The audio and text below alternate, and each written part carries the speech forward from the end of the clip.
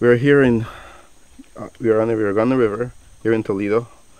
We're doing a project from the CLP team. It's a conservation leadership team, which uh, they fund small proposals and stuff. And what we did was write a proposal about the the study of Hicatee, we known as the scientific name Dermatemys mawii. What we did was we set our nets. We came here about two nights ago, set nets, and we're going to study the, eco the ecology, so the life cycle, as in how many eggs it lays, the movement patterns, home ranges, territory. The close season is only one month here in Belize, so from May 1st to May 31st, Hicatee is close season, which is, we all believe that it's not enough to preserve this creature. It's endangered, IUCN Red List. We have seven more of these to attach to the turtle to study it and get more information. So what we have here is the, this is the radio tracker. And with that now we also have the receiver which we'll turn on. And you can see it's making a noise. The higher the noise is the closer it gets to the animal. So when we release this turtle we'll be following it a couple weeks to again study see its pattern.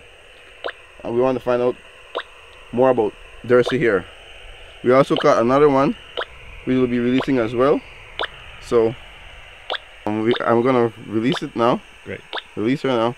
So right here she's really eager to get out. This is one of the biggest ones we already caught so hope she's in good shape there she goes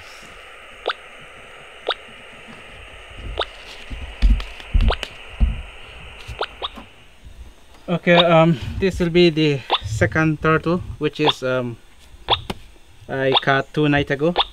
Hicatee turtle. It is my first time seeing these turtles, so I, the rest of my teammate, the CLP teammate, are happy that I caught these two turtles because we have tried it several times, and then sometimes they only caught one. But then when I came, I was so lucky that I caught two of these turtles. Yeah, well, I'll be releasing Gertrude to go back to its Happy trails, Gertrude. habitat. picture Marco hold, hold, hold, hold, hold, wait. Marco took a picture yeah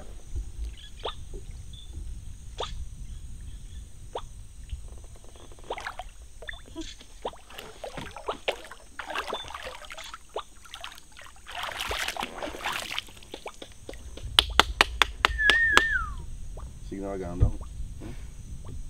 Yeah.